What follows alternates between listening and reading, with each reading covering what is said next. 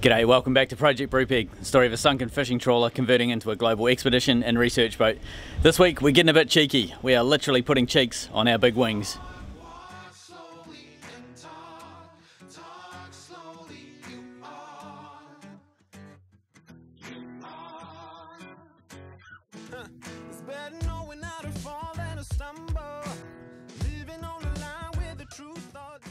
Over the last couple of weeks, Dame's been getting the hinge cheeks ready to weld into the stabiliser wings.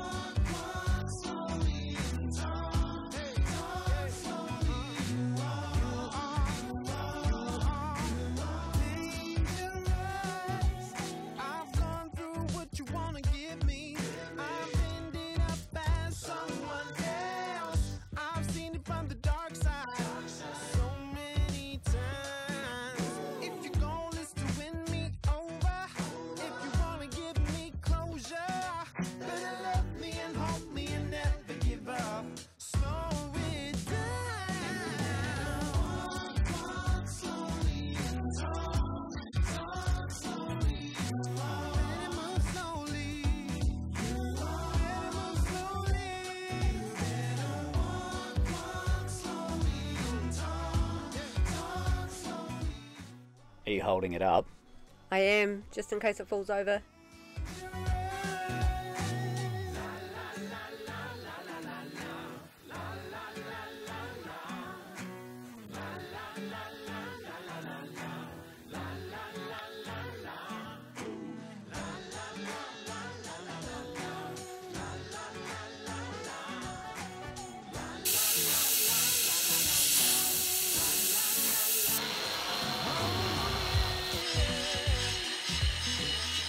Waiting in the car while Dame picked something up, one of the locals kept an eye on me.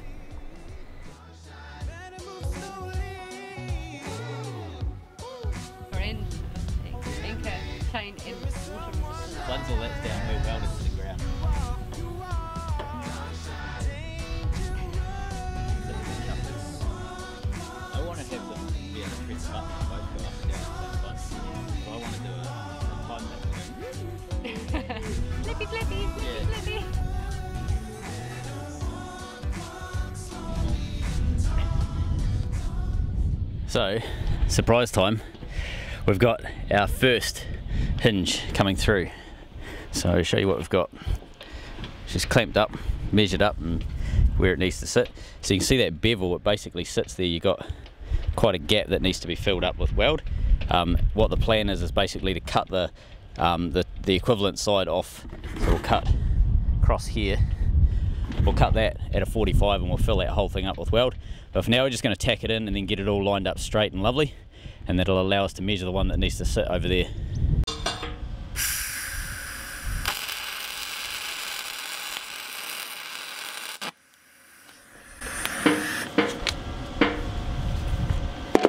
The reason I'm just tacking it down the bottom is because I don't quite trust that it's straight that way so I want to be able to adjust it. Tacking it at the bottom allows me to just give it a slight tweak with the hammer if I need to.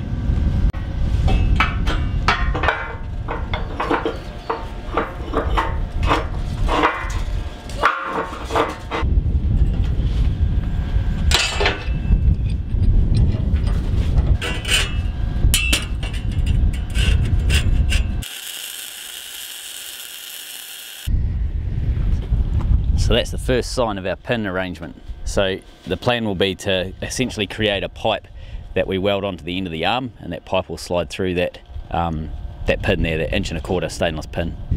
So I was just thinking, when I weld this in, I need to make sure that the pin is free the whole time. So rather than do a big weld and then warp the plate or something like that and jam that pin up, I need to do a small weld, make sure the pin is spinning, and then just sort of keep swapping over to make sure that we're going to have the best possible um, alignment of those two plates. Because if that pin jams up, it sort of screws the whole process up.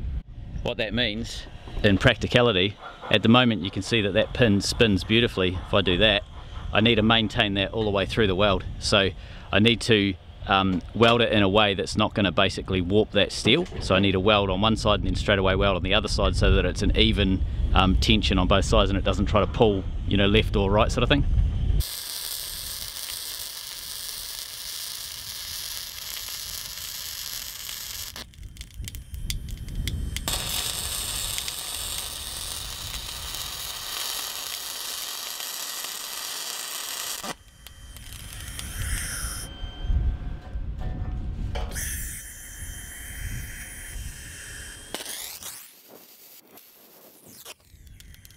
So if it's out, oh look at that, beautiful.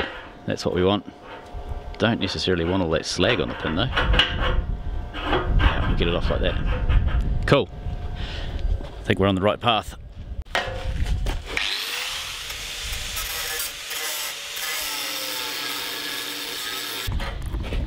And that's the top of the Uber bevel. So now that we've got a massive gouge cut out of both sides, we can fill it up with weld and we'll have a really strong bond. I just wanted to show you um, what happens on a bad weld. So I've just um, ground that out. I'm going to do a little bit more, just get rid of those little, you can see the little bubbles? Uh, that's part of what makes up the bad weld. Uh, so if we'd left that, it's just not strong. So this is when the nitrogen um, from the atmosphere gets inside the weld. Yeah. Yeah, porosity. Um, that's what that's called. So yeah, so I'll grind the rest of that out. I just want to show you before I took it right down. Um, and, and, what happened was that we didn't have the gas on. So uh, happens sometimes, you forget. So we've done what's essentially called our root run. So you can sort of see that weld in the top there. Focus. There we go. So that's root weld one, and that's root weld number two. Geez, these are big, they're a bit gorgeous, darling. They're lovely, aren't they? Yeah, well done. Yeah. So we're going to basically go through and do that down each side around the bottom and then back up, and then we'll fill this top completely with weld. So that's why we did such a big bevel on there, so that we can put a massive amount of liquid metal in there and just bond everything together.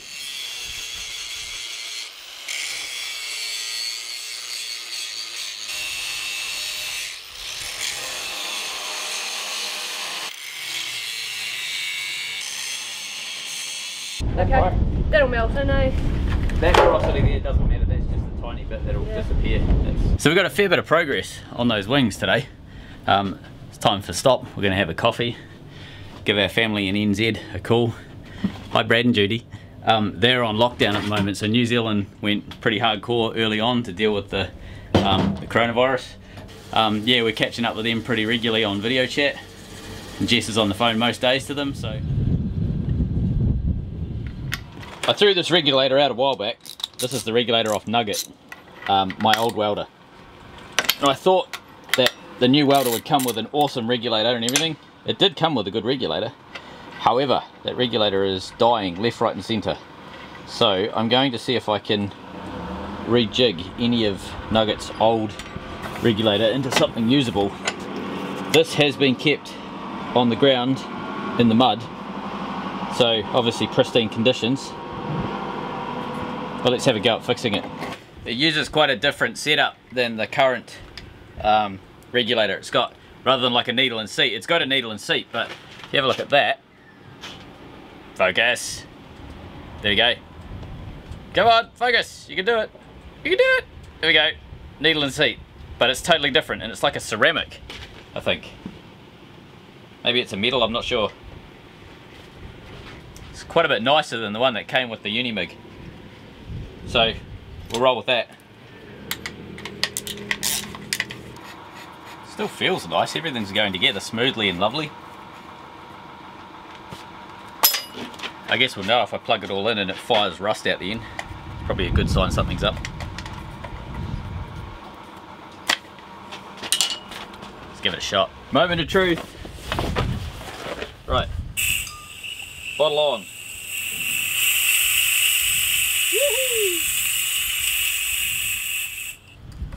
Lovely. All right, close. We have a regulator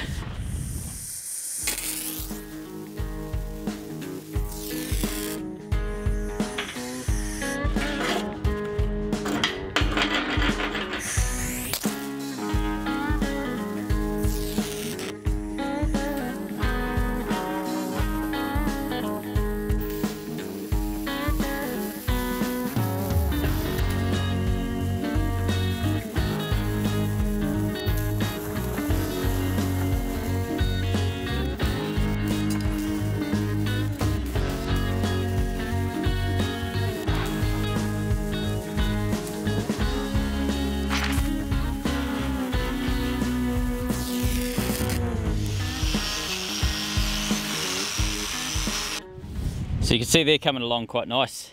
Um, got a couple of runs down the middle there, or three runs, so one down the down the root run and then we've got two capping runs. We'll keep going, I'll probably put another three on each of those. And we've got one down either side. I'm gonna beef those up more, put probably a good three on either of those as well. Um, and then underneath, the thing I was most sort of wanting to make sure happened, lovely free pin so that's really critical that that pin stays free. And I think it's worked out all right with the welding. Nothing's warped too much so far. And that regulator seems to be working out sweet. Um, once I obviously had it blow it out and everything with the pipe off it, it um, was running good. It's a nice wee regulator, eh? I just assumed that the new one would be better, but no, I was wrong. The old one's awesome compared to the new one. So we've got a bit of rain coming in. See if we can get this welding done before that stuff starts to delay our work.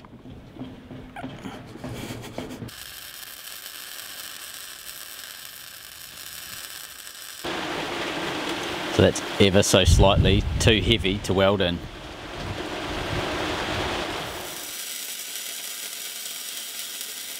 Okay, the next step, now that we've got these two cheeks welded in and they're parallel, the pin's turning nice and all that, we need to figure out how we're going to do bracing. So I need to do internal bracing that's going to act like a doubler underneath the skin of the wing. Um, we're also going to do one on the top and the bottom plate, but this is the internal strengthening that we need to figure out. So for that, I'm going to get Jess down to decide what she wants in terms of strengthening inside these wings.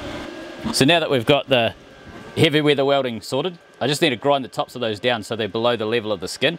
Um, when we put the skin on, obviously if that's sticking up as a high spot, it's going to leave a dimple in the wing, so we need to sort that out. I'll get Jess down now. Um, we need to both be pretty happy with the internal structure of these wings, so we're going to go to some pretty remote and rough places, so we don't want anything to let go. My plan is go through and figure out what our pros and cons and challenges are and stuff, and we'll figure out how we're going to do our internal beefing and strengthening. What are you thinking? I don't know if you've got enough weld on. it's pretty awesome. Yeah, I think that'll be right, eh? Yeah. I got to file these down so they're lower than that surface Yeah, right. on both of them. Sorry, I got to file those down so they're lower than the surface so we can skin it. Mm. But um, they're just about ready to go, I think.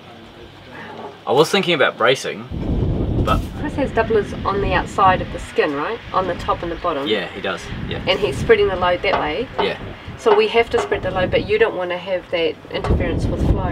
yeah, And that makes sense. We've got, like you were saying before, you, we've got the opportunity to do it on the in, Yeah. inside of it. Yeah. So why why not do that? yeah. But but the flip side is that his his beams here, I don't think are as thick as these. Mm. Like these are 16 mil, and that's 20 mil, and then that's 10 mil. So But you've still got the six six mil skin, Yeah. and that's what'll flex. That is that's what I mean. I, I know this will give it strength, but that's what'll give, right? Well so what you're saying is if you put these will transfer the load to these. Yeah. So it, the load is spread So- lengthwise. Um, if you if you put the stringers here, you're spreading it that way too, right? yeah. Yeah. that's Which is what you you ideally would like, Well, his are, his are flat because they're a doubler on the skin. Mm. So but it's still spreading the load in the same direction. isn't hundred it? percent. Yeah, hundred percent. Yeah. Mm. I just my question, I suppose, is is this strong enough without a doubler? Because I think this is thicker than what a lot of the guys are using. And you've got like this bracing now. Like yeah, like this is 46 mil of steel. You know what I think is going to happen? what? They'll be standing and everything will have collapsed around. them. That's what I think. If that happens, I've built it correctly. Okay, so my my, my concern Yeah. is the skin, the the um, spreading the load on the skin, Yeah. not on not on the point. Right. No, no, I would rather have strengthen the the skin Yeah. across that way. Like Okay, so put a vertical in. Yeah. I, I Okay. would because the only the only issue I see I think this is plenty strong and this is like incredible. Yeah. Really good booty welds. I mean it's all good, but I'm just thinking this it's this direction like you were saying. And, and that's why he's putting doublers in, right? Well, well, partly, mainly the doublers are so that so that the load that's in this one little bit here gets spread out over a Is yeah, big yeah, yanking area. through some. And he's got it top and bottom. Yeah. But I, I, I do think we probably could get away with it. But like you, I think maybe veer on the side of caution and just put, you know, it doesn't have to be ginormous. I know, it's, it's just that unknown, eh? It is, it is. And we've got the opportunity right now. All right. Well, I was thinking go from this beam here Yeah. across, link those across there, and then go from there down to the front. Any engineers, could you come through the camera and tell us what to do? that would be really good. I think veer on the side of caution like you want to. Alright, I, throw, I, I agree. we'll Yeah. throw in some steel. Okay. Um, and then you know we'll throw them on the boat and hopefully at some point throw the boat in the water and then try them out. Sometime this year, these wings will be bolted to the boat. I hope so. Alright, I'll- What I would like is it to touch the six, not not, not to be above the I six. going to fully weld it. Yeah, great. Yeah. Yeah, yeah. If I use the 20 mil, we've got a, a slab across there that I can weld the skin onto. I'll drill a hole in the skin and I can plug weld the skin onto it. This is the stuff here. Throw a little bit in. That's not going to bend. And if that bends, the rest of the boat's snapped. Someone um someone did who was it who said was it Trevor? Was it you Trevor? I can't remember. Someone said you could stand on them, like go out onto the wings while they're down Oh, and, yeah, and no. sit on them. Who was that? A viewer. It was um, this- what they it was something like they called it a lawn trap for scientists or something. it was their handle. It was a swim platform or something where they could like. Yes, it, walk maybe in. it's a new swim platform. Yeah, I yeah. thought that was a really good idea. Yeah. I'd like to actually try that when we're in yeah, shallow yeah. waters. Yeah, I think it'd be funny. Yeah, yes. yeah. Have a little tea party out on the wing. It certainly makes keel hauling harder. it does. Alright, cool. I'll, I'll do that now then. I'll just throw some steel at it. That's easy enough. Cool. Thank you. All right, thanks, Di. It's quite nice having a built in engineer. I want to say thanks to Rick, Craig, Gruntman, and Eric. On the comment section of the last video, they had some really good feedback about the vulnerability of our wings in heavy ice conditions. We're not sure what our solution is going to be to this yet, but I just want to say thanks for the feedback that they gave because it's really going to help build that solution on Brew